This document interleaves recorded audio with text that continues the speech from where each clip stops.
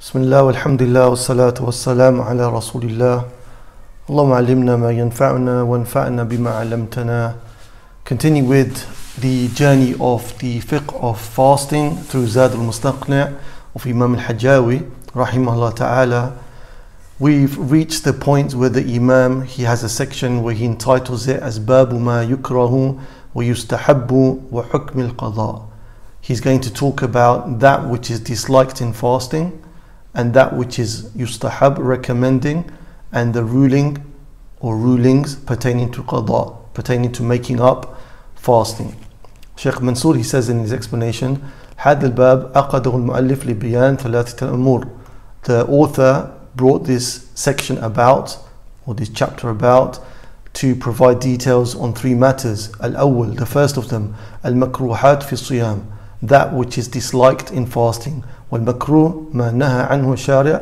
لا على وجه الإلزام بترك المكروه technically is that which the the uh, lawgiver Allah subhanahu wa ta'ala has made forbidden but not in a way which is binding meaning that it's not forbidden as haram it's not in a way in a way which is binding or in a way that you that's obligation is obligatory upon you to leave off وحكمه أنه يثاب تاركه امتثالا ولا يعاقب فاعله and the ruling in usul al-fiqh of this makruh is that the person who leaves it off out of obedience to Allah subhanahu wa ta'ala and following the Prophet sallallahu alaihi wasallam then this person yuthab he is rewarded ولا يعاقب فاعله and the one who falls into this matter of makruh and does it and doesn't leave it off then this person is not to be punished الثاني the second thing that the author is going to talk about المستحبات في الصيام those things which are مستحب والمستحب ما أمر به الشارع لا على وجه الإلزام بالفعل and the mustahab is that which the lawgiver Allah subhanahu wa ta'ala has commanded but not in a binding way that you must have to do it it's not in a binding way it's commanded but not in a binding way وحكمه أنه يثاب فاعله امتثالا ولا يعاقب تاركه and its ruling is that the one who does it out of obedience to Allah subhanahu wa ta'ala is rewarded and the one who leaves it off who doesn't do this action is not punished الثالث the third thing حكم القضاء the rulings pertaining to making up the misfast أي قضاء صوم لرمضان وغيره making up the fast of Ramadan and other than them وأحكام ذلك and the rulings pertaining to that وقوله the author he says يكره جمع ريقه فيبتلعه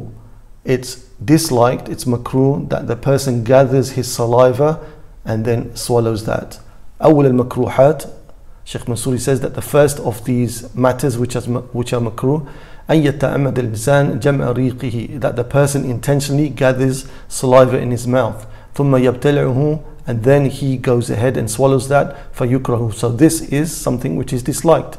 ولا يفطر. But it doesn't break the fast. وإلة الكراهة.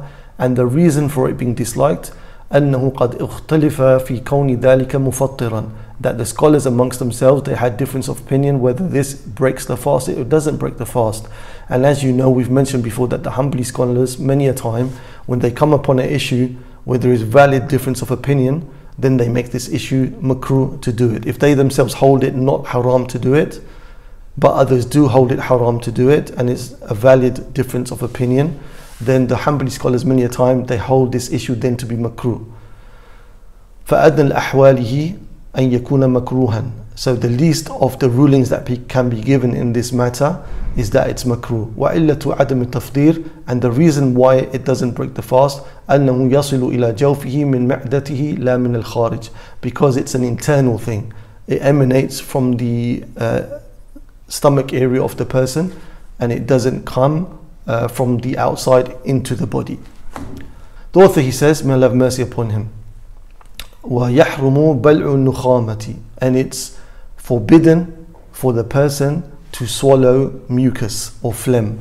to swallow phlegm and mucus أول المحرمات يحرم على الصائم أن يبلع النخامة Sheikh Mansour says that it's forbidden as the author has mentioned to swallow phlegm and uh, mucus and things of that nature لضررها واستخدارها because it can be harmful and because it's filthy ويتأكد الحكم على صائم وهذا الحكم عام في النخامة سواء من جوفه أو صدره أو دماغه and this is stressed as a ruling for the person who is fasting that he should avoid this it's haram for the person to swallow mucus and phlegm uh, and this is a general ruling whether it be the phlegm or the mucus is from the internal area of the body or it's from the chest of the body or it's from that which comes from the skull from the brain area the author he says يفطر بها فقط إن وصلت إلى فمه the person only breaks his fast if the mucus has reached the mouth if the mucus has been gathered in the mouth and then the person swallows it لو أنه بلع نخامة نخامة فإنه يفطر بذلك إن وصلت إلى الفم so the person as the author said if he if he gathers the mucus in the mouth and then swallows it then this will break the fast والعلة أنه ابتلع ذلك على وجه يمكنه التحرز منه and the reason is because he swallowed it whilst being able to spit it out whilst being able to avoid swallowing it ولكن إن بصقها أي النخامة ثم ابتلع ريقه لم يفطر however if the person spat out the phlegm and the mucus and swallowed what was left from the saliva then this wouldn't break the fast so the person spits out what was gathered in his mouth that's well and good and whatever is swallowed after that from saliva that doesn't break the fast the author he says وَيُكْرَهُ ذَوْقُ الطَّعَامِ بِلَا حَاجَةٍ and it's disliked for the person to taste the food without a need if there's not a need for the person to taste the food if the wife she knows that her husband is as he should be he's quite cool and chilled he doesn't get mad if the food doesn't turn out the way he wants it to be then there's no need for her to really go ahead and taste the food but if he's of the type that he's going to throw a fit and he's going to become super mad if the food doesn't turn out as he wants it to then here there's a need for the wife to taste the food as an example. So uh, the reason that it's makruh وذلك لأن فيه تعريضا لفساد الصوم. The reason that it's makruh because you are you are exposing your fast to something which can break it, which is that the food, whatever you are tasting, could end up on your throat or you can end up swallowing it. قال إمام أحمد إمام أحمد he said أحب أن أحب أن يجتنب ذوق الطعام For me, I like and I love that the tasting of the food is avoided whilst the person is fasting.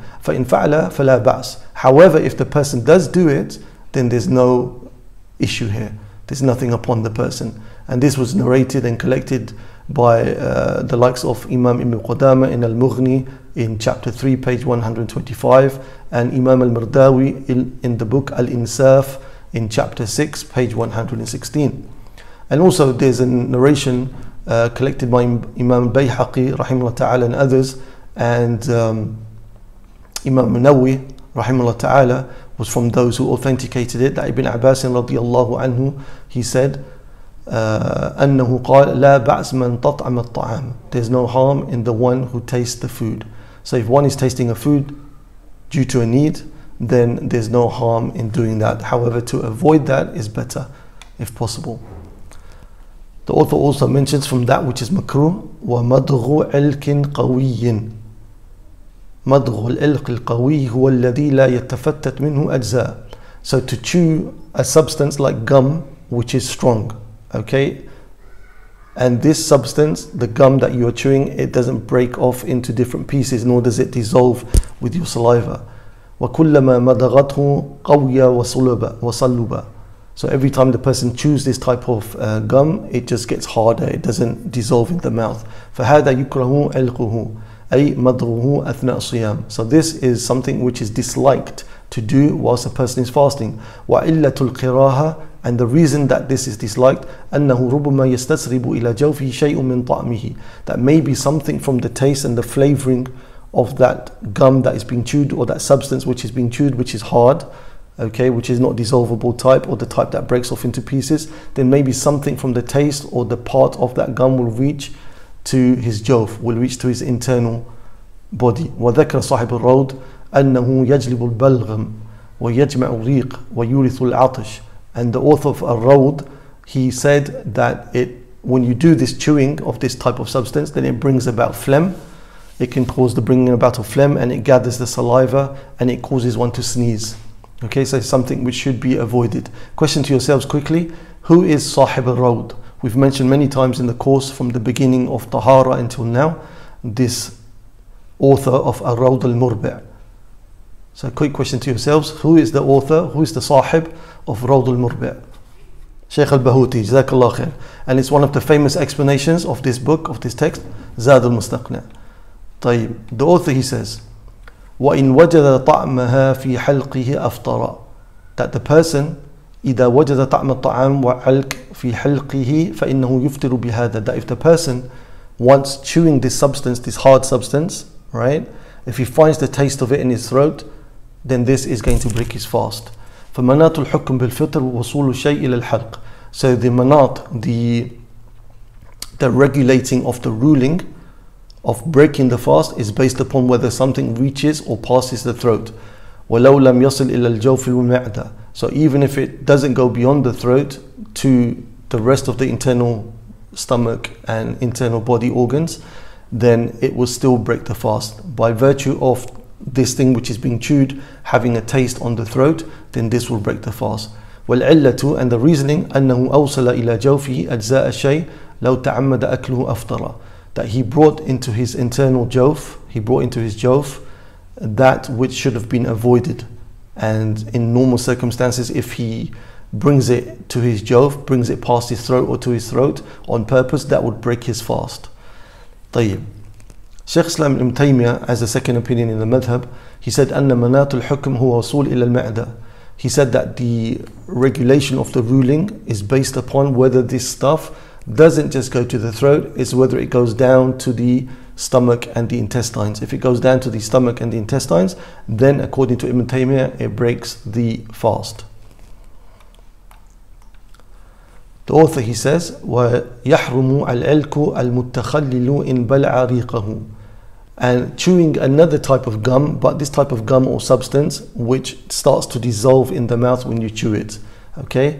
Sheikh Mansour he says ثاني المحرمات مضغ العلق المتحلل uh, chewing this uh, gum substance but this gum substance it tends to dissolve when you chew it وهو الذي إذا علكته تحلل وصار يمشي مع ريق so it dissolves when you chew it and it goes down with the saliva فهذا يحرم علكه إذا حصل منه بلع لريقه so this is going to be forbidden uh, to chew if it means that the saliva is going to gather and you are going to swallow the saliva of that thing because it means that you're swallowing parts of the gum and you're swallowing the taste of the gum.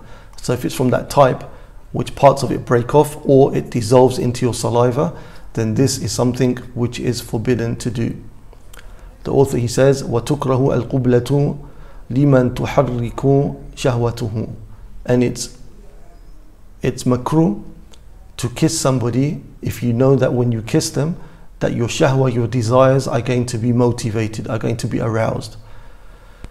طيب ويمكن القول بأن القبلة لها صور Sheikh Mansour he says that the qubla, that the kissing it has different scenarios الأولى the first of them قبلة لا تصاحبها شهوة مطلقا that a type of kissing that which is not connected to the arousal of desires uh, this is like كتقبيل أولاده الصغار أو قادم من السفر ونحوه فالأصل الحل like for example when one kisses his young children or when one is coming back from a long journey we know that the sunnah is you're allowed to kiss uh, a person in this situation so this is not based upon desire and the essence is that it's halal it's allowed الثانية the second situation of kissing قبلة تتحرك معها شهوته ويخشى من فساد صومه بإنزال المني فتحرم لأنه يعرض صومه للفساد The second type of kissing is the one where the person he kisses but his desires become strong or he knows that his desires are going to be strong to the extent that it's very possible that semen can be ejaculated. So in this situation it's haram for the person to do so because he's exposing his fast to being broken. الثالث The third scenario قبلة تتحرك معها شهوته لكنه يأمن من فساد صوم بالإمناء فتكره The third situation is that the person kisses and it's going to arouse desire. However, it's not going to lead the person to a situation wherein they're going to ejaculate. Okay, so in this situation, it's something which is makruh, it's something which is disliked. And as we said, that if you leave this off, uh, then you are rewarded. But if you do do it, then you are not going to be punished. That is the definition of makruh. The author he said, وَيَجِبُ اجتناب كذب وغيبة وشتم and it's obligatory to avoid lying and ghiba and shatam. Okay, so kadhib is khilaf al-sidq wa al-ikhbar bi khilaf al-waqi' amdan. Kadhib, as we know in English very clearly, we understand it's lying, and the Arabic definition here is that the opposite of truth, and it is to announce and speak about the reality, uh, speak about uh, the opposite of reality uh, intentionally. والغيبة Ghiba is also something which needs to be avoided ذكرك أخاك بما يكره as the Prophet ﷺ to mention about your brother or your sister that which they would dislike you to mention so this is something which needs to be avoided والشتم Shatam also needs to be avoided in the Arab هو كلام القبيح in, uh, with, in the Arabic definition shatam is all types of uh, filthy or evil speech واعلم Sheikh Mansour says and know أنه يجب على الصائم وغيره أن يجتنب هذه الأشياء دائما know that it's important to note that it's always important to avoid these situations uh, Sheikh Mansour is saying but when you are fasting it's even more so min bab ula it's even more recommended or even more stressed that you have to avoid these situations we have the hadith in Bukhari where Abu Hurairah radiallahu anhu, he said that the Prophet sallallahu alayhi wasallam said, من لم يدع قول الزور والعمل به فليس لله والجهل فليس لله حاجة أن يدع طعامه وشرابه. Whoever doesn't leave off the قول الزور, قول الزور is uh, all types of uh, evil speech, okay? All types of evil speech. والعمل به and acting in accordance to that قول الزور. والجهل and jahl is ignorance and unable to restrain oneself then Allah subhanahu wa ta'ala has no need of the person leaving off his food and drink. Because the purpose of fasting, as we know, is to train the soul to become a better person, to train the soul to have more taqwa of Allah subhanahu wa ta'ala. So if the person is fasting, however, his speech is not in control, nor his actions are in control in a way that pleases Allah subhanahu wa ta'ala, then he's not benefiting from fasting as he should do. Imam Ahmad rahimahullah ta'ala, he said, ينبغي لصائم أن يتعهد صومه من لسانه. It's imperative, Imam Ahmad said, that the fasting person protects his fast from the harms of his tongue. ولا يماري ويصون صومه. And it's imperative that he speaks only that which is good and he protects his fast. كانوا إذا صاموا قعدوا في المساجد. The Salaf radiallahu anhum, the Sahaba, when they used to fast, they would sit in the masajid And they would say, وَقَالُوا نَحْفَظُ صَوْمَنَا We are preserving our fast. وَلَا يَغْتَابُ أَحَدًا And we're not going to backbite anybody. وَلَا يَعْمَلُ عَمَلًا يَجْرَحُ بِهِ صَوْمَهُ And they would never do an action that would cause their fasting to be diminished in reward. So Imam Ahmad is reminding us that it's imperative that when we fast, we leave off the matters that Imam al-Hajjawi just mentioned. the author, he said, وَسُنَّةٌ وَسُنُّ لِمَنْ شُتِمَ قَوْلُهُ إِنِّي صَائِمٌ It's sunnah, it's recommended that when the person is abused, if, if a person is abused whilst he's fasting, he says that verily I am fasting. He makes a statement to say I am fasting. And the hadith of this is in Bukhari and Muslim where the Prophet ﷺ said as narrated by Abu Hurairah إِذَا كَانَ يَوْمَ صَوْمِ أَحَدِكُمْ فَلَا يَرْفُث If it's a day when one of you are fasting, then he shouldn't فلا يرفث then he shouldn't have evil speech ولا يسخب and he shouldn't speak in a loud manner shouting etc فإن سابه أحد أو قاتله and if one was to um, speak badly to him or to try to fight with him فليقل then he must say إني امرؤ صائم verily I am somebody who is fasting okay so this is the advice of the Prophet ﷺ that if one tries to irritate you, speak to you in a bad way, or get you to get into a confrontation, a violent confrontation, or even a verbal confrontation, then use to say that I am fasting. Question to yourselves is this to be said loudly or is it to be said quietly? Should a person say loudly that I am fasting or should he say it quietly? What do you think? Barakallah fiqh, and this is exactly what some of the scholars say. Anybody else? طيب, so the scholars they say this, but Sheikh Fahad al-Matiri he mentioned an important point. He said that doing it in the fard is absolutely okay. Why in the fard? Because everybody else in Ramadan is also fasting, so it's not going to have any concept of riyah, any any notion of showing off, right? Because everybody else is doing the same act of worship that you are doing. So in this situation, you should say it loudly. However, when it's a nafil fast, then you should say it quietly, meaning you are only reminding yourself But as the brother mentioned, some of the scholars they did say what he mentioned. وقوله تأخير السحور and from the recommended things, from the sunnah things to do was fasting, is to delay the suhoor. Um, suhoor, as we know with the dhamma, it is the action, and the sahur with the fatha, it is the thing that you are taking for the suhoor. Okay? فمن السنة أن يؤخر الإنسان سحور إلى قرب طلوع الفجر. So it's from the sunnah to delay the suhoor until Fajr is very close. From the evidences of this is what we find in Bukhari from the hadith of Zayd ibn Thabit قال تسحرنا مع النبي صلى الله عليه وسلم We took suhoor with the Prophet صلى الله عليه وسلم ثم قام إلى الصلاة and then the Prophet صلى الله عليه وسلم he got up to go and pray قلت I said the narrator is saying I said كم كان بين الأذان والسحور How much was there between the adhan and the time of the suhoor the time of the adhan for Fajr and the time that you guys had finished suhoor قال قدر خمسين آية the duration that it takes to recite 50 verses of the Quran which as we know is a very short time and also we have the hadith from Bukhari Imam Bukhari the hadith for Aisha radiallahu anha where she said that the Prophet ﷺ said كلوا واشربوا حتى يؤذن ابن مكتوم eat and drink until Ibn Umm Maktoum makes the adhan because there were two adhans in the time of the Prophet ﷺ right so he's saying ignore the first adhan eat and drink until Ibn Umm Maktoum makes the adhan. فإنه لا يؤذن حتى يطلع الفجر for verily he doesn't make the adhan until the exact time for fajr has come in until the dawn has come in so this is a clear proof that they used to eat close until the time of fajr there wouldn't be a big gap between their eating and the time of fajr وتعجيل الفطر and from the sunnah also is ta'jil al-fitr, is to hasten when it comes to taking the fitr, when it comes to breaking the fast, the iftar. طيب Sheikh Mansour he said إذا تيقن الصائم غروب الشمس فإنه يسن تعجيل بالفطر. Once the person knows for sure that it's sunset, then the person should rush to make uh, fitr, to make iftar, even before, and it should be done before the salah.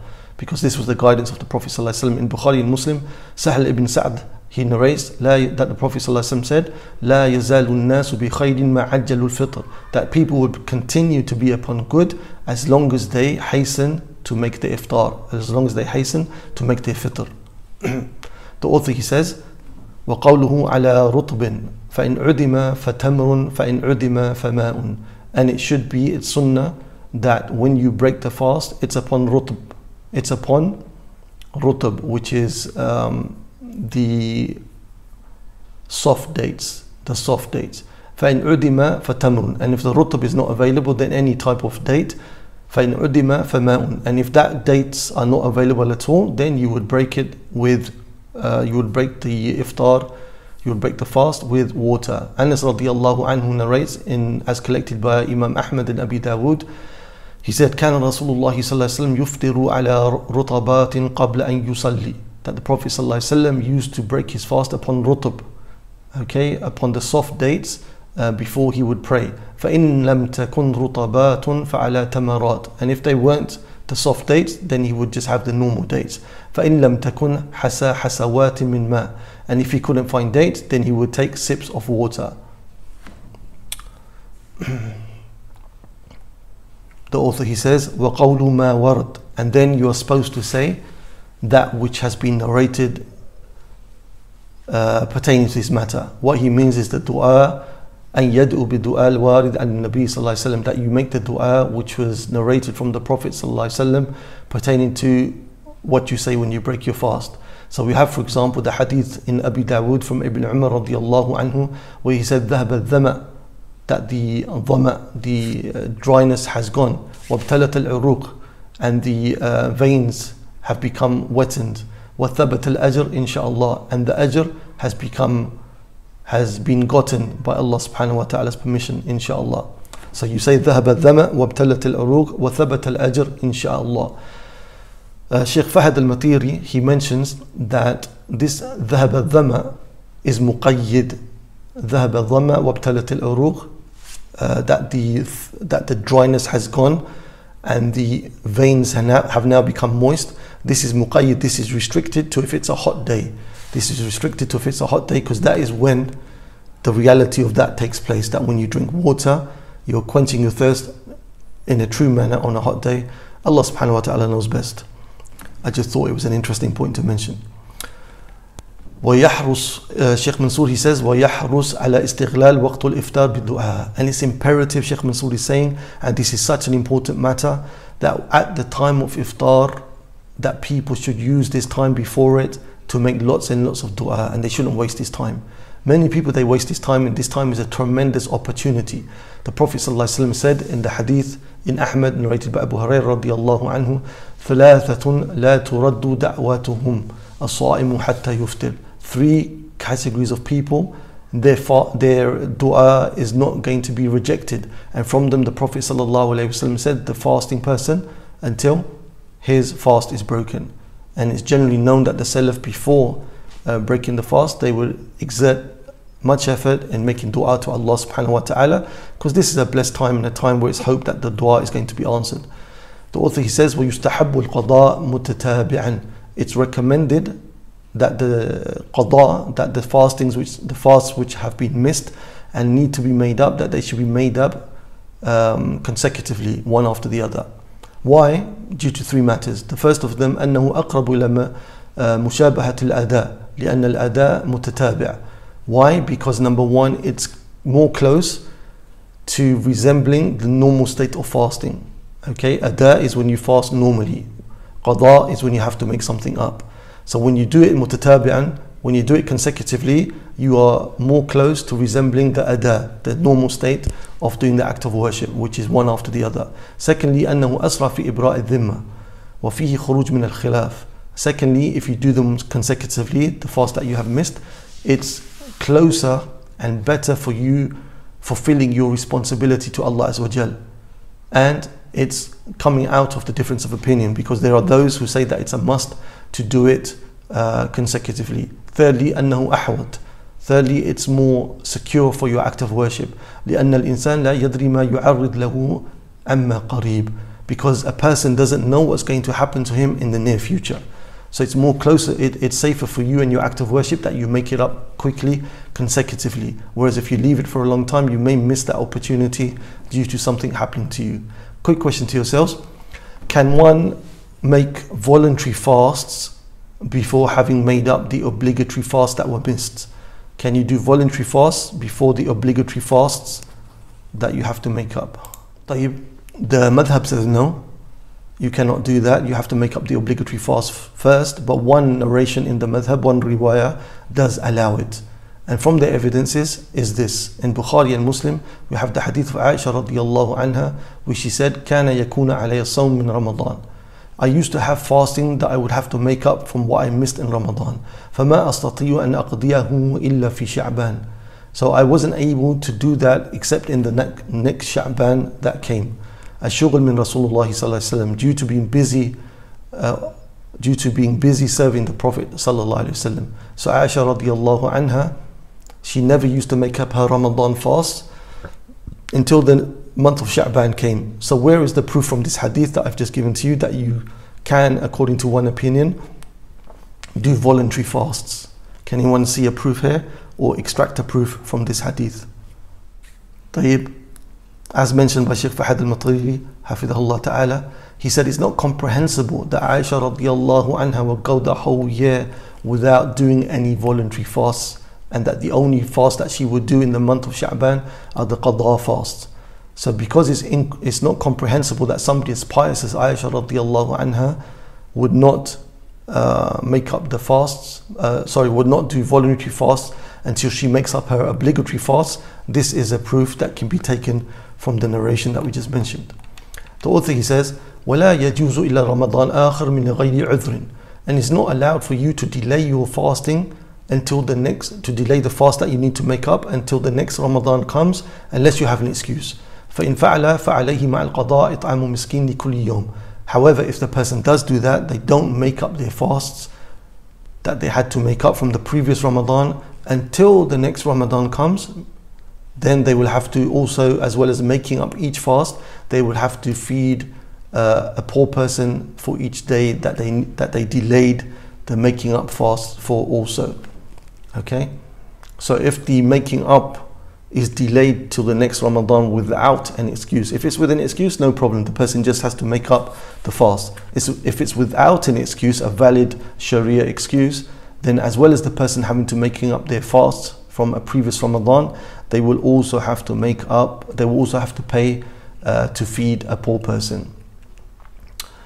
طيب we have for example uh, Ibn Umar radiallahu anhu we have Ibn Abbas radiallahu anhu we have Abu Hurairah radiallahu anhum ajma'in as collected by Imam al-Hakim who said يطعم عن كل يوم المسكين they said that for every day which the person didn't make up their fast until Ramadan had come upon them again then every day they have to feed a poor person يطعم عن كل يوم المسكين وَلَمْ يُرْوَى عَنْ غَيْرِهِ مِنَ الصَّحَابَةِ خِلَافُهُ And it was not known that other than the other companions held a different opinion to this opinion, as mentioned by Imam Ibn Qudama in Al-Mughni. So if the companions, a group of companions, like we just mentioned, make a fatwa, and there's no, there's no um, opposition from other companions, then this is taken as a clear ruling, and Allah subhanahu wa ta'ala knows best. Fourth, he says, وَإِن مَاتَ وَلَوْ بَعْدَ رَمَضَانَ آخَرٍ this kafara is there even if the person dies after uh, after another Ramadan, meaning that he lived and he fasted another Ramadan, then this kafara is still upon the person. And this kafara is going to be taken from uh, the wealth that he's left behind for distribution as inheritance. So before the inheritance is distributed, then the debts are to be paid, and from the debts that are to be paid is the kafara that we've just mentioned here. The author he says, وَإِن مَاتَ وَعَلَيْهِ صَوْمٌ أو حج أو اعتكاف أو صلاة النذر استحب لوليه قضاءه If the person dies and he has fasting upon him, he has fasting that he should have made up, or a hajj that he should have done or made up, or i'tikaf that he should have done, or any type of uh, prayer that he vowed for himself, then it's recommended that his wali uh, does this for him.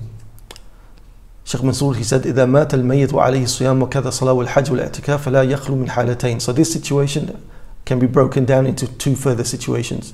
First of them, أن يكون عبادة فرض. That these acts of worship, right, like the fasting, is فرض. It's obligatory fasting that was left off by this person. كصوم رمضان فالحكم أنه لا يصام عنه الصيام الذي وجب بالأصل الشرع وكذا صلاة so if it's fasting which is obligatory that has to be made up or a salah which is obligatory that has to be made up then there's no way that these acts of worship can be made up. Why? Because these have been obligated by the Sharia as an oblig as an uh, as a wajib act of worship to be done by the individual. And if the individual didn't do them, then nobody can do them on their behalf, whether the person was alive or the person has passed away. The second of them, أن تكون عبادة نذرا. However, if the ibadah, the act of worship, the fasting or the prayer was nadr, was a vow, فيقضي عنه ما أوجبه على نفسه بالنذر من الصلاة أو صوم أو اعتكاف أو حج. Then in this situation, a person can make it up. It's recommended that a person makes it up for the person that has passed away. The evidence is in the hadith of Ibn Abbas رضي الله عنه أن امرأة جاءت إلى رسول الله صلى الله عليه وسلم that a woman came to the Prophet صلى الله عليه وسلم and she said يا رسول الله إن أمي ماتت وعليها صوم النذر O Prophet Allah my mother has passed away and she had an uh, a fast which she vowed to do and she didn't do it. قال أفأصوم عنها she said O Prophet Allah should I pray on her behalf? The Prophet صلى الله عليه وسلم said أرأيتي لو كان على أمك دين فقضيته أكان يؤدي ذلك عنها The Prophet ﷺ said, Don't you see that if your mother had a debt and you paid that debt on her behalf, wouldn't that suffice uh, the situation? And she said, Yes. The Prophet ﷺ said, Fasumi an ummika and ummiki. Likewise, fast on your mother the debt that she had put upon herself, which was the, the, the vow to fast, fast on behalf of your mother.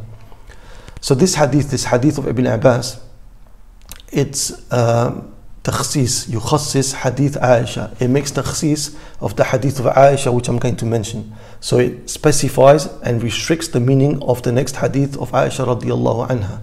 Aisha radiallahu anha in the hadith in Bukhari Muslim, she said, Man mata, the Prophet said, Man mata wa alayhi sawm, sama anhu. Whoever dies and he had a fast to make up, then his wali, his guardian, will fast on his behalf.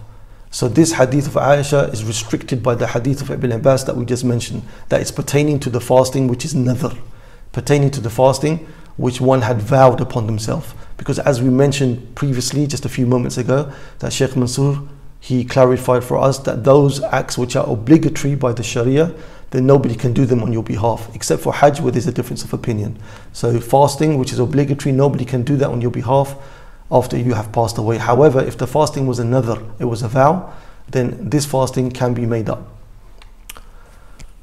Uh, Sheikh Mansour, he says, وَالصَّوْمُ عَلَى الْمَيِّتْ هُوَ عَلَى الْإِسْتِحْبَابِ الاستحباب لا على الإيجاب and fasting for the dead on behalf of the dead is mustahab not something which is wajib because of the hadith of Aisha radiallahu anha that we mentioned من مات وعليه الصيام صام عنه وليه that whoever uh, dies and he has fasting to be done, and then his wali should fast on his behalf. وصارف إلى الاستحباب and the sarif, the sarif is something which takes the ruling away from being obligatory to being uh, sunnah, okay, or vice versa. It can take it from sunnah to being wajib. So the sarif here, to take it to being mustahab instead of being obligatory, is the verse in the Quran where Allah subhanahu wa taala says, "ولا تزر وازرة وزر أخرى."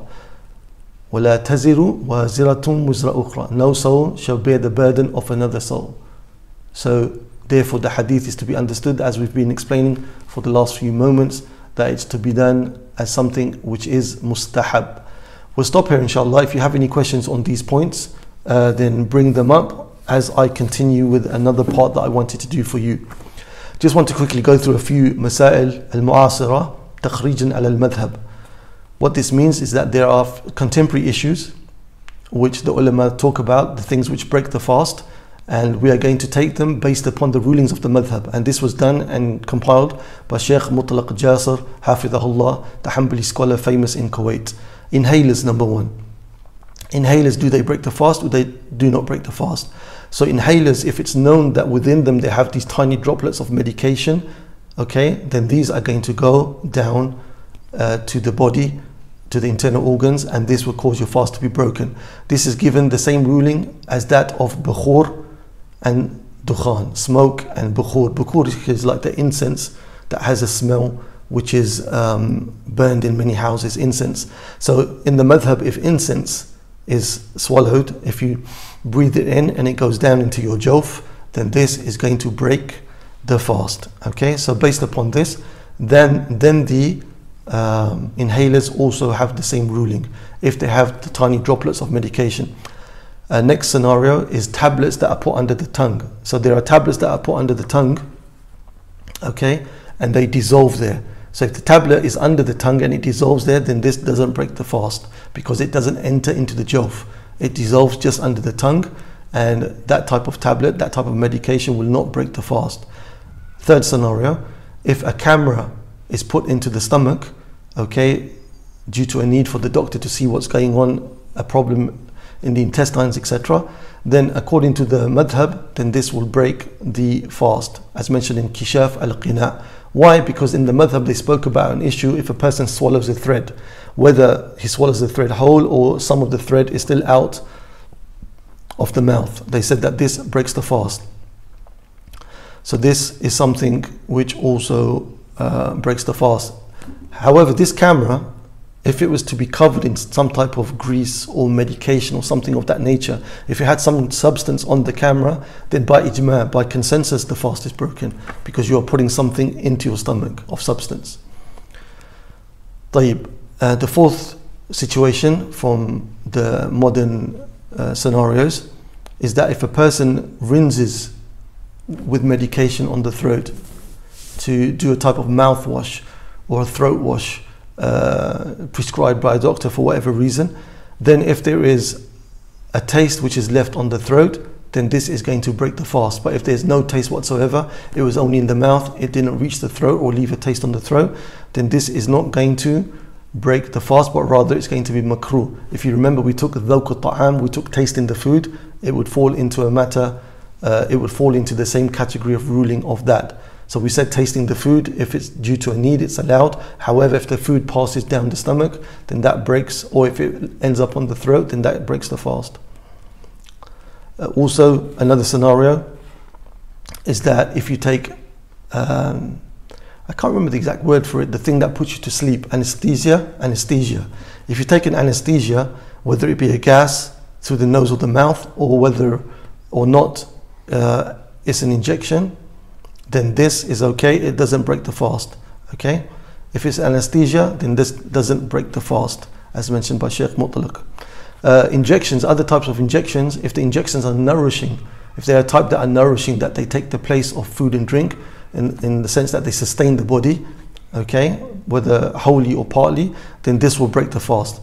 Um, if it's a non nourishing medication or injection and it goes into the bones or the muscles, then this doesn't break the fast. Okay.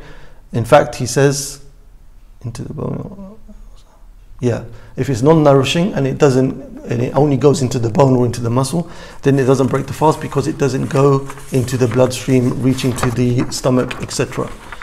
Uh, with regards to another scenario, which is uh, kidney dialysis, kidney dialysis, which is the process of um, being attached to a machine and it injects blood causes the blood to go through the kidney.